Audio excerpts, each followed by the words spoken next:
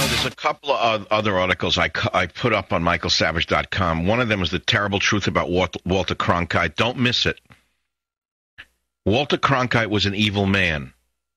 Walter Cronkite stabbed our troops in the back and said that the North Vietnamese, the NVA, had won during the Tet Offensive when the opposite was true. Many of our men died and were wounded for life defending uh, South Vietnam from the communist takeover. It doesn't matter whether or not you were for or against the Vietnam War. All you got to know is that Cronkite's public verdict that the 1968 Tet Offensive was a defeat for the U.S. was a turning point in American support for the war.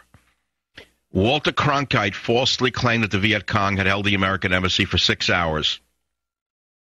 It was a major defeat for the communist enemy, by the way, militarily. It's a terrible, terrible thing to realize how distorted the news is that the people in the media don't even know this or didn't want to report it. In 1979, Cronkite gave an interview to the Soviet magazine Literary Gazette, and he told one of the reporters that the Soviet threat was most likely a myth. He was a fellow traveler, in other words, which is why the media has glorified him, which is why the media made him into something he wasn't.